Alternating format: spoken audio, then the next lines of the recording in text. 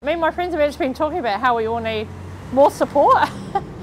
so we're all like quite, can get quite stressed out and um,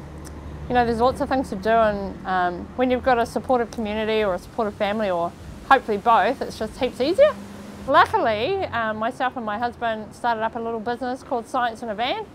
and we've got a really cool job where we go into schools and teach kids about science. So that's really fun because I get to blow giant bubbles for a living, which is pretty lucky. For me, it's where I live, so that's my community and the people around here in Mangere but also um, church is a big part of my life, so um, I feel that that's sort of another community and sometimes it overlaps. Um, but also if you're part of different groups, so if you're part of the rainbow community, that's another group of people that you could be part of, um, or you know, cultural groups, like there's heaps of different communities and the really cool thing is when they overlap. So last night, just here actually, we had our first night markets and heaps of different communities just descended and it was really, really cool because